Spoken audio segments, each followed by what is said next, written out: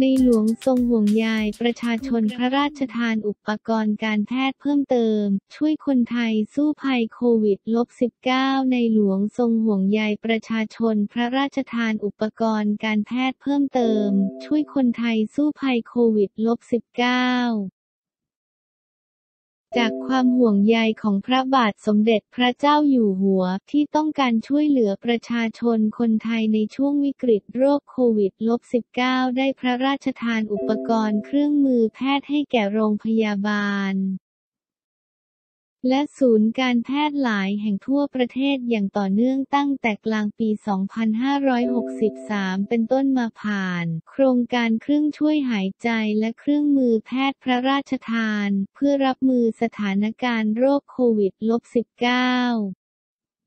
เสริมความเข้มแข็งให้ระบบสาธารณสุขของประเทศไทย ปัจจุบันประเทศไทยยังต้องเผชิญกับการแพร่ระบาดของเชื้อโควิด -19 ระลอกใหม่ ซึ่งจำนวนผู้ติดเชื้อยังเพิ่มขึ้นอย่างต่อเนื่องทุกวัน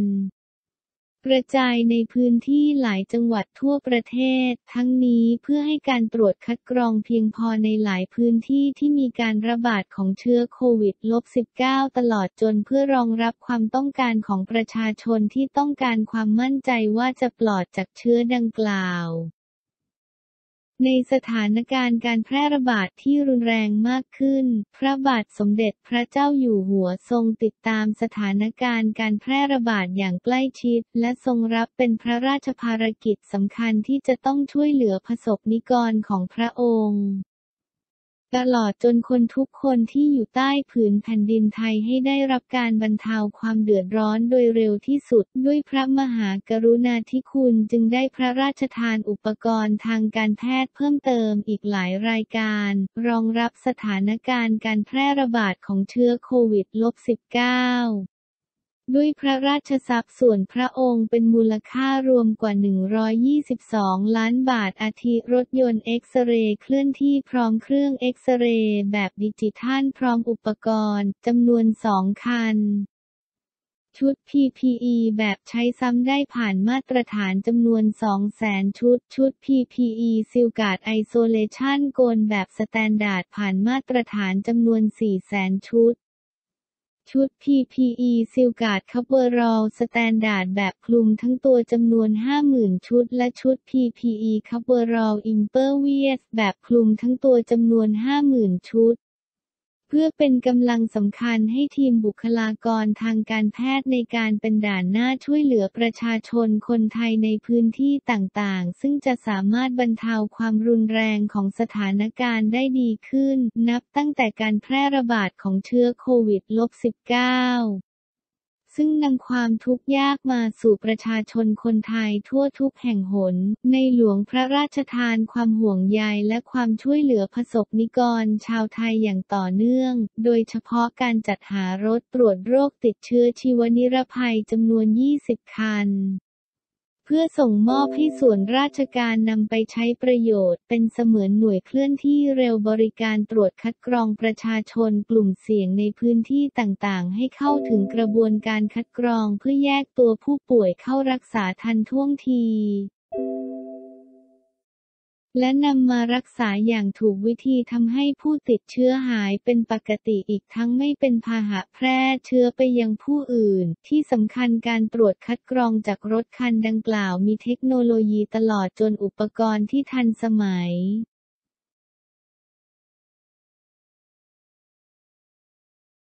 สามารถป้องกันและช่วยลดความเสี่ยงจากการสัมผัสกันระหว่างเจ้าหน้าที่ผู้บริการและประชาชนผู้เข้ารับบริการ เป็นที่ทราบซึ้งในพระเมตตาอย่างหาที่สุดมิได้ โดยเฉพาะการบริการในพื้นที่ที่เกิดการแพร่ระบาดอาทิ ตลาดกลางกุ้งจังหวัดสมุทรสาครด้วยน้ำพระราชหฤทัยและด้วยพระมหากรุณาธิคุณอย่างหาที่สุดมิได้ โครงการเครื่องช่วยหายใจและเครื่องมือแพทย์พระราชทาน รองรับสถานการณ์โรคโควิด -19 ที่พระบาทสมเด็จพระเจ้าอยู่หัว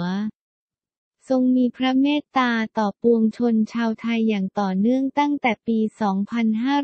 2563 เป็นต้นมาจึงเป็นสิ่งสำคัญที่ช่วยบรรเทาความทุกข์ยาก และเป็นกำลังใจให้ประชาชนชาวไทยทุกหมู่เหล่าเพื่อให้เราทุกคนร่วมแรงร่วมใจกันด้วยความรักและความสามัคคีที่จะฝ่าฟันปัญหาอุปสรรคทั้งหลาย เพื่อก้าวผ่านวิกฤตนี้ไปด้วยกัน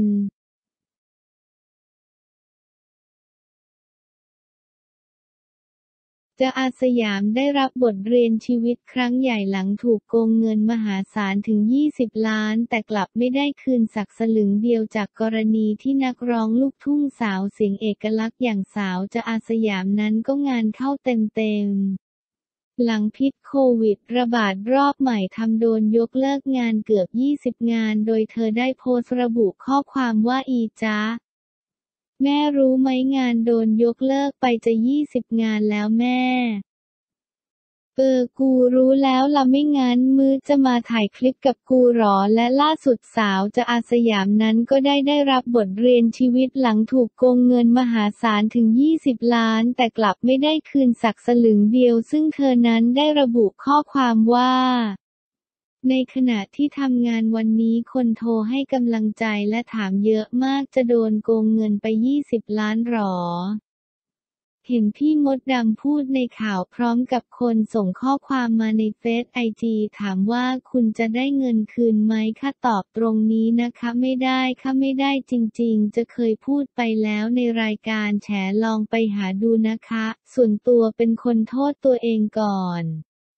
เพราะเราโลภเอง เราโง่เอง ส่วนเขาก็ได้รับกรรมของเขาไป กรรมใครกรรมมันสุดท้ายอย่างน้อยๆ เราก็ได้รับบทเรียนในความโลภของเราเอง ทุกวันนี้ทำงานตั้งแต่เช้ายันค่ำไม่บ่นสักคำสู้สุดเพราะเงินหมดแล้ว